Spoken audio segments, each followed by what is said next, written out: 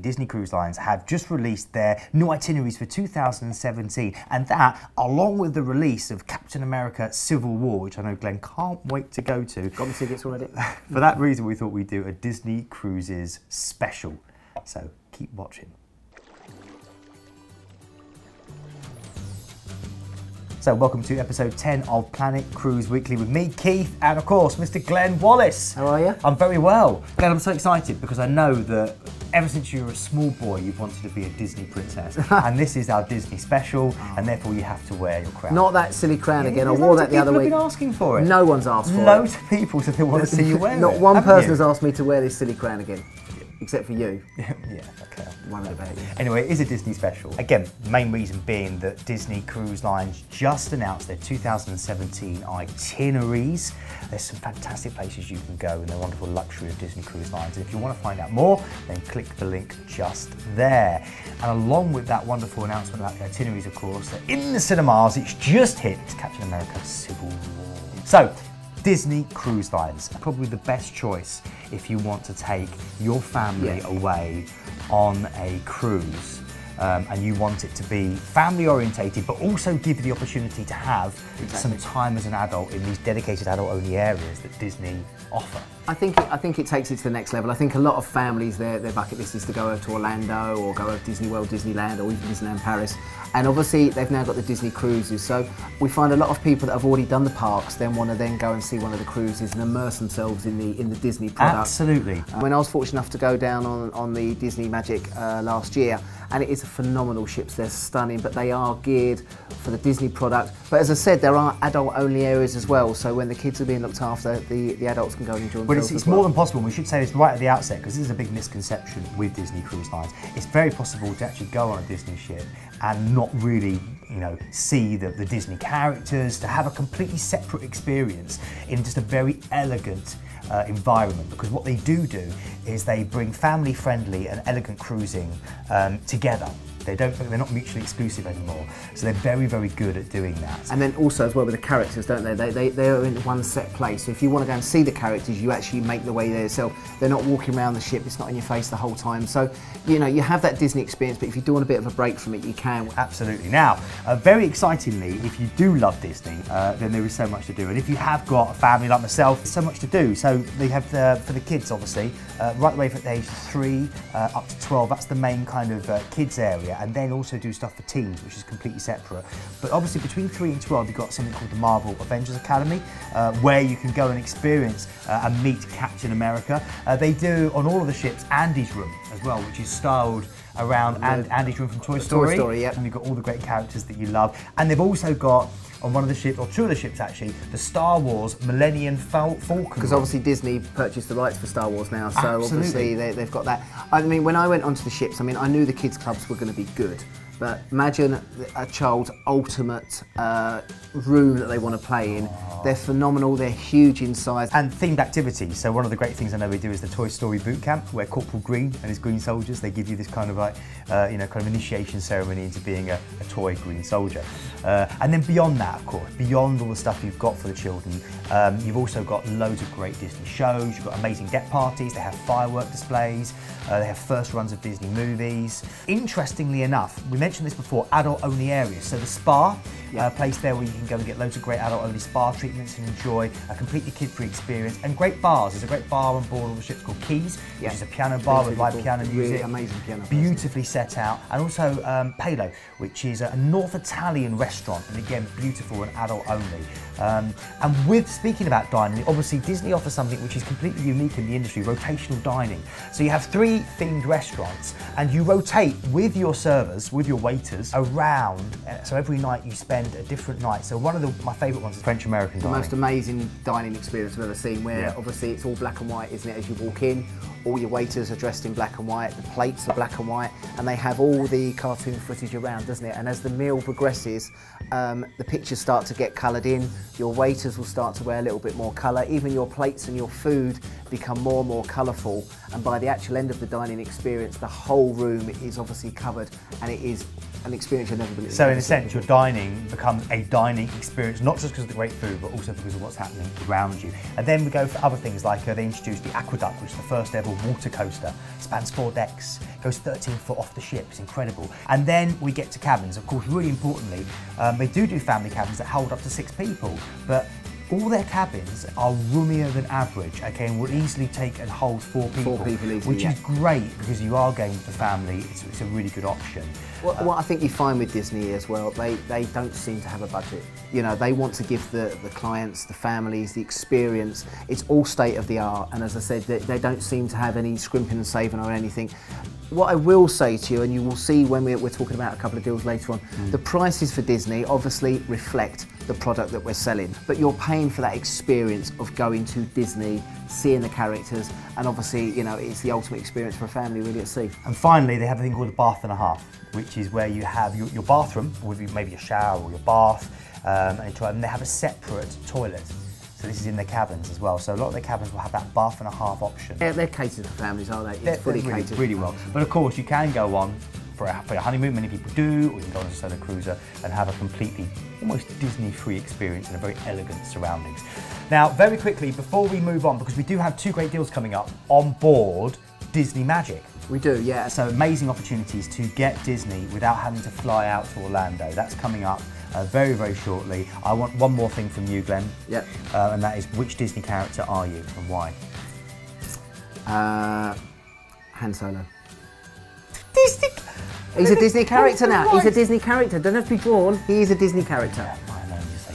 He's a bit older, a bit wiser. yeah, that makes me Chewbacca. We'll see you after this. Thank you. So, as it's a Disney theme, we have two great Disney cruises on board Disney Magic. And funnily enough, Disney Magic's one of four ships at the moment. But um, very recently, and very excitingly, Disney also announced that they're creating and building Two more. in Meyer Werft, which is one of the German shipyards. Two more? Yeah, Two more Two ships. more ships. Is Yep. it 2021 and 2023? It seems yeah. a long way away, but again, you know, they build these ships, they have to plan it and stuff like that. So they're adding 50% to their fleet and can take it to six. I know, it's incredible. And the, what we thought, because what always happens whenever Disney launch a new ship is there's a massive kind of bum fight as to what they're going to name it, what they're going to call it. So we thought we'd join in on Planet Cruise Weekly and we're going to run our very own little competition with you. So we'd like you to tell us if you were to name a Disney ship, what would you call it? So the Disney something. So it has to have Disney in there, but Disney something. Be whatever you want. Um, we're going to announce the winner on next week's In show. 2023. Uh, and uh, no, it will be next week's show. It might feel like 2023, but it'll be next week's show. And um, with that, of course, uh, we, we, you know, we just encourage you to comment below with what you think it is, or contact us on Twitter or on our Facebook, or say on the YouTube below. However you want to do it, but let us know. And the and a goodie bag with Disney-themed goodies will be sent to the winner. Now, Disney Magic is where we're going uh, next. Yeah. Um, this is a wonderful seven-night summer Mediterranean cruise from Dover through to Barcelona uh, with Disney Cruise Lines. It goes out on the Goes out on the 21st of July 2017, so it's the start of the school holidays. Seven night chance to experience Disney in all its glory. Uh, as I said, sailing out of Dover and then flying back from Barcelona at the end of the cruise there for you. Inside cabins are starting at 1659 per person. You can upgrade for about 140 pounds to the Ocean View, or for a family of four is 5499 in total. That includes your cruise, your transfers, and your flights back home as well. which actually is really competitive if you try and price it up to go maybe over to Orlando to do seven nights over there, um, or of course if you're going over to Paris, it's a really, really competitive price, but you're getting the idea of just unpacking once and visiting multiple destinations. Itinerary wise, you are sailing from Dover, uh, your first port of call, you're just hopping over the channel uh, to Le Havre, which is a wonderful option there to head into Paris. When you're in Paris, they do some tours where you can just do Paris on your own. One that's got like a city tour and the boat trip as well with lunch on as well. So if you want, yeah. if you've not been to Paris before and you want to experience it in a day, and maybe then you think about going back in the future, again, you're more than welcome to do that. Okay, and if you don't want to do that, we've got DD beaches nearby as well and Honfleur, so loads to do. Then two days at sea. This is where you're going to start experiencing the ship. Well, this is it. It- I mean, we've already talked about it, so we won't won't divulge. Apart from to say, these two sea days, you're going to have so much fun, almost more fun than going to these amazing ports of call, because there's so much to do, whatever age you are. Then you're going to go to your next port, which is Lisbon, of course, the capital of Portugal. You're sailing through the Tagus River, incredible arrival. You've got all the uh, the wonderful trams to help you get around and explore this incredible maritime city. Then you hit Cadiz, which is your gateway through to we're into Seville. incredible. Uh, the Alhambra Palace, and you've got the, the wonderful orange and lemon blossom uh, city and boulevards to walk down. So after Cadiz, you then got a sea day. before you then uh, finish off in Barcelona. And of course, because what we love to do at Planet Cruise is give you bespoke holiday options, if you wanted to add on a stay in Barcelona, we could do that for Yeah, you. Yeah, we can do that for you. You might want to do two or three days in Las Ramblas or somewhere like that. Good beaches as well. So, you know, it's a seven day. You might want to turn it into a 10, 11, 12 day package and we can do that for you as well. So uh, this is with Disney Cruise Lines on board with Disney Magic and it's seven nights, summer Mediterranean, Dover to Barcelona. Now, if you want to find out more, click here and we can give you uh, more information about it. And don't forget as well um, that if you are going to book this, quote YouTube 25, which will give you an extra £25 off the prices you're seeing on screen at the moment. Now, we want to say thank you to all these wonderful people that have commented at last week's show. Karen Robinson, who loved the sound of the Oceana Serena, or the mermaid as we called her. So thank you, Karen. Uh, also to uh, Andrew Jarvis, one of our most regular uh, commenters, and also Mary Beaton. Thank you so much for your lovely comments about how you enjoyed the, the whole Planet Cruise booking experience. I've got to say as well, on the Point because it's a Disney Magic ship, uh, another real good reason sailing with Disney is that each Disney ship actually has four captains. Oh, really? Just the one, four captains. Yeah. You've got the ship's captain, then you've also got uh, Captain Hook, Captain Jack Sparrow, and Captain Mickey. Four captains. Yeah, I don't know if I want Mickey uh, staying in the ship, but there you go. Don't go anywhere. And now it's time for the second of our themed cruises today. Again, it's on Disney Magic. Uh, it's a 12 night British Isle cruise from Dover, which is fantastic. An opportunity to visit your own country. You know, we spend thousands of pounds jet setting all over the world, and very often we don't visit. I, I used to do the British Isles cruises and I never thought I'd enjoy them. Do you know, they're some of the best because they're They're places aren't you they? don't normally go to, you maybe haven't visited before. Um, and as I said, they're really, really popular. And you feel like you're not too far away, so it's, it's a little bit local for you. Um, now, this is going out on the 9th of July 2017, so again, you've got plenty of time to save up for this one. Inside cabins on this one for the 12 nights is at 2299. You've got the ocean view at 2689. But again, the family of four price is the one that's proven really, really popular, and that's coming in as a total at 6999 for a family. Which again, when you're thinking is 12 nights, that's a long time to have all your food, all your entertainment, to have your, your little ones uh, entertained in such wonderful With style. the Disney experience that we've talked about before. Itinerary wise, uh, let's have a look. So we're starting from Dover. Remember, because you are sailing out of the UK and back to the UK, you can take as much luggage as you want, and that's really handy, particularly when you've got a family. And then you're hopping over the channel to the Havre, chance to head out to Paris, where you beat the beaches or explore the lovely medieval town of Honfleur. Then from there, you're heading over to St Peter's Port, which is the island of Guernsey. Beautiful love this place. destination. One of the prettiest harbours uh, in the world. Then you've got a day at sea before you hit Dublin, that graceful city that sits on the River Liffey.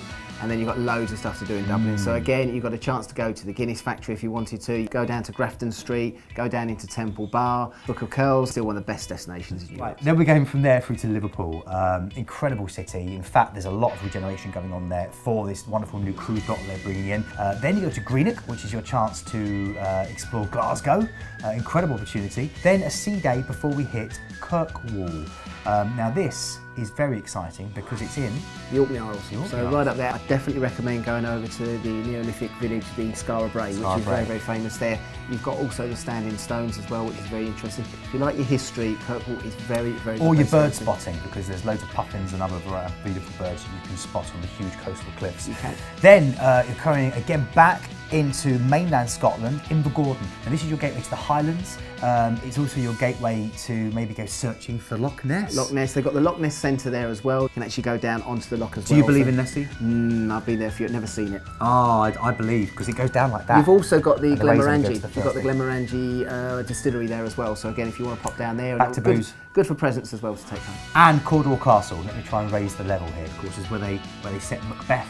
Okay, that's good. Then uh, from Invergordon, finally back back to the uh, to, to, to England per se, Newcastle, uh, that jewel of the northeast. Great chance to explore the time uh, and the wonderful history again of that incredible city. Before you then head at sea and back to Dover. Oh, the good thing with this one, as I say, you look at the ports of call. A lot of them you probably haven't been to before, so this takes them all in. And as I said, you know, you've got a bit of time on the ship, but you've got great destinations there as well to make full days out.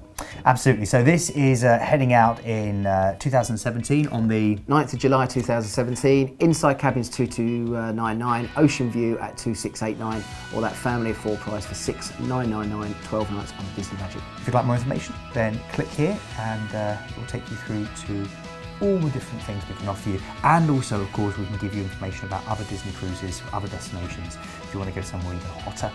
Yeah. Um, and again, if, if, if these two cruises aren't you, you don't fancy Disney, we've got cruises from one day all the way around the world, taking you to the seven continents, all different price ranges as well, working with all the different cruise companies. This is well. it. And if you are watching this, you're new to cruising, and you think, well, you know, kind of maybe, well, that, that's a little bit more than I can maybe afford for a family holiday. Um, this is a very specific Disney product. There are loads of other cruise lines that offer very good, good value family holidays. You just click here, uh, and that will take you through to some more information about some some other uh, family cruise options. Well, thank you very much for watching. Don't forget to comment. Tell us what you love about Disney. Tell us about your favourite Disney me- uh, memory. Uh, let us know what you'd name one of the two new Disney ships. And thank you very much for watching. From myself and Han Solo, also known as the Disney Princess, we bid you good morrow. Cheers, guys.